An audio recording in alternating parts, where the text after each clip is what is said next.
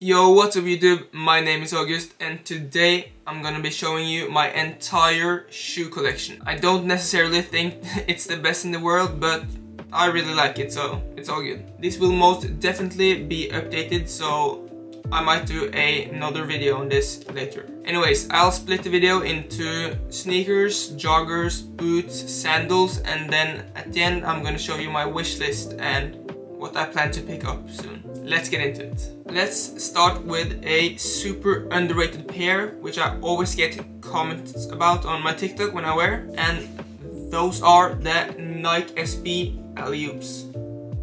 Super cool colorway in the in like beige and a blue tick. I really like them. I think these are actually one of the oldest pairs of sneakers in my collection. I bought them like four years ago or something, I think.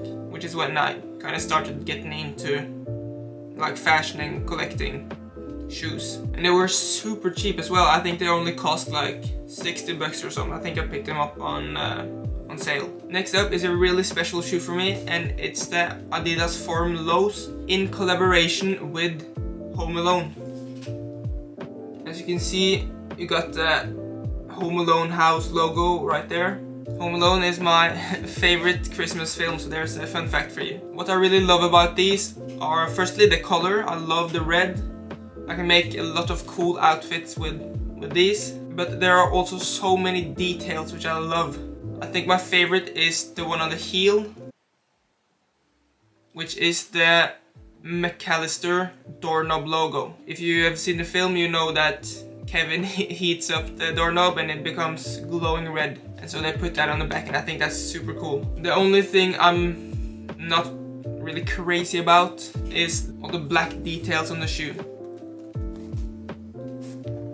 It kind of just looks like they're dirty, but I think they're supposed to represent like all the explosions and like fires and stuff, so yeah. Next, we're gonna rapid fire through two pairs of Air Forces because they are so beat, it's almost embarrassing to show them off. Firstly, we have these.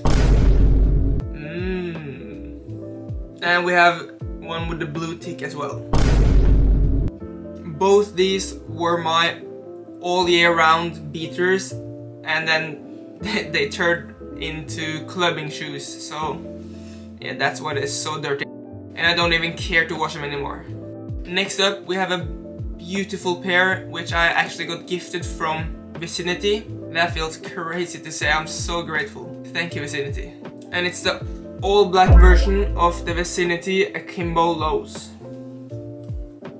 The detailing on these are insane. You can't really go wrong with an all black sneaker, but when you add this level of detail on it, it becomes almost an essential for my collection, I think.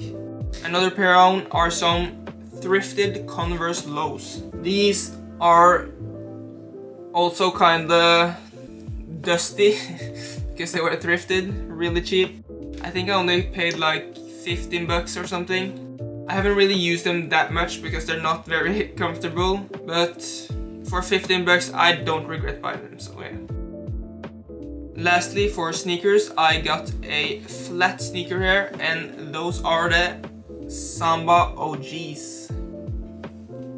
These are really cool, I really like them, but I feel like I can't wear them that much because they, they're kind of loud when they're like all green, you know? And they're also all suede, so if the ground is wet, they will get really dirty.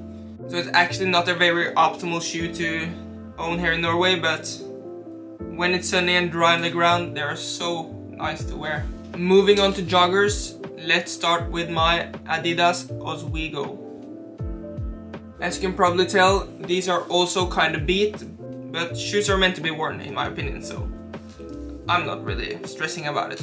I don't really like shoes that are like too white. When the sun hits a fresh pair of new Air Forces, you get almost blinded by just looking at them. Next up, probably one of my favorite shoes and TikTok agrees with me. And those are the brown New Balance 2002R. These are so beautiful. I don't think I own a pair more comfortable than these. These are so, so good to walk in. I actually got gifted these from my uncle and cousins and I've gotten a lot of wear out of them since then so it was a really good birthday present. Okay, now boots. Firstly, I have the classics that every guy should own. The Timberland 6 inch. I've had these for really long time now, probably like 4 or 5 years I think.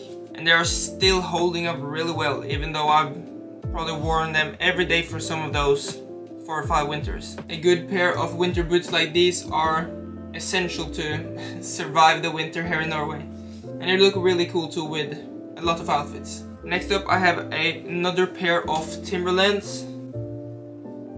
Kind of darker brown than the 6 inch boots. I unfortunately don't know what this exact model is called because I found them in the closet here at home and just claim them as my own. I really like the silhouette of this shoe, especially the sole under because it has a lot of like pointy pointy edges and a lot of detail on it. Lastly for boots I have the Doc Martens 1461 with the white stitching.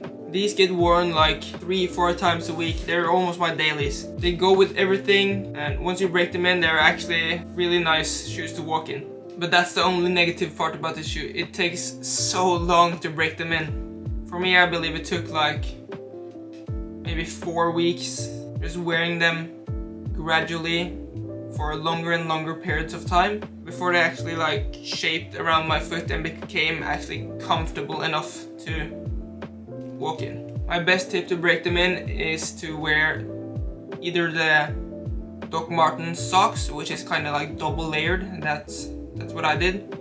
Or you can actually do double socks and put on two pairs of socks and yeah, use that to not get blisters. Moving on to sandals. I actually only own one pair of sandals and that is the Birkenstock Arizona with the silver colored buckle. I prefer the silver color over the like rusty look, but that's just my opinion. I got a lot of use out of them this last summer when I bought them, but haven't been able to use them that much in winter here in Norway. I could use them at home, but I like to wear these, which are the North Face like sleeping bag slippers, which they're so warm and comfortable, I love them.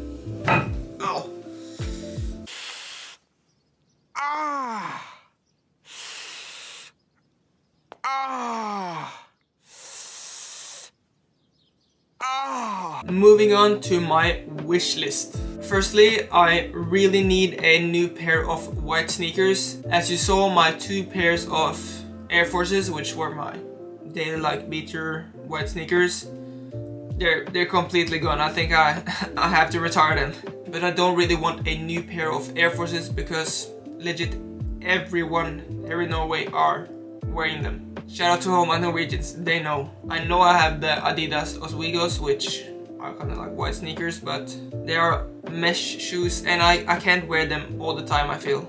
Especially when it's a little bit rainy and stuff like that, my socks get wet instantly. I need some versatile beaters. So I was thinking maybe Reebok Club C85 or maybe some white New Balance 550s. If you have any other ideas on that, please let me know in the comments. Next on my wish list are the Skepta Tailwind in the blue colorway.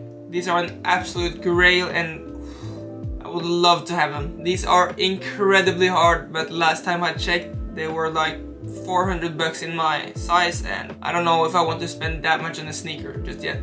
Lastly, I want a pair of loafers. I feel like loafers really can help you elevate your style so much.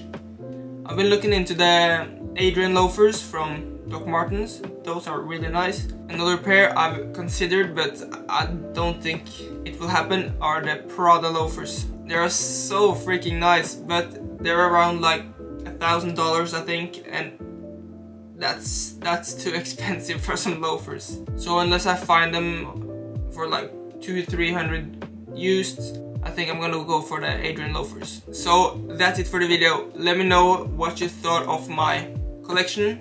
Anyways, don't forget to like, subscribe, and if you made it all the way to the end, you're a real one.